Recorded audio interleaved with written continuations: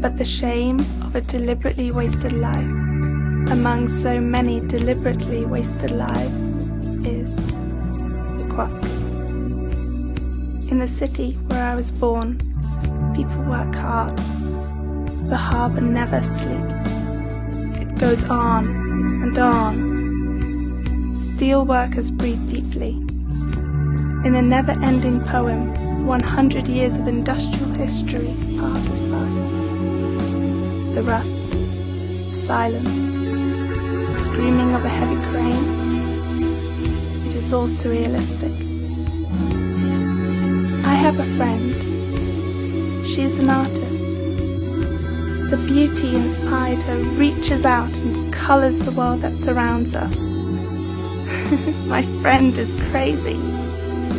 She drops school and listens to weird music.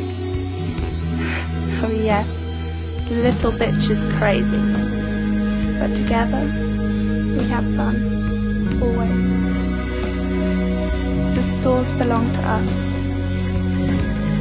As real children of the night, we go out and party, get drunk, have sex.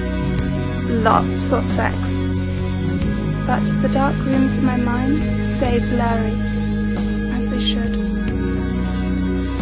A ship fades away under the bridge, I think about my own life. It scares me. The sound of my own heartbeat echoes, it gives me shivers. I have to make a statement, just like my friend. But how? I don't know.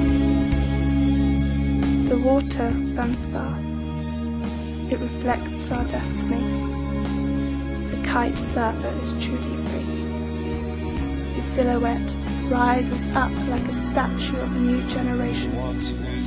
I admire him like no one else. His kite chases the clouds. His spirit stays with me forever. There is a journalist She likes to do a story on me. Can I trust her? Does she have the right to break into my life? Age is no crime.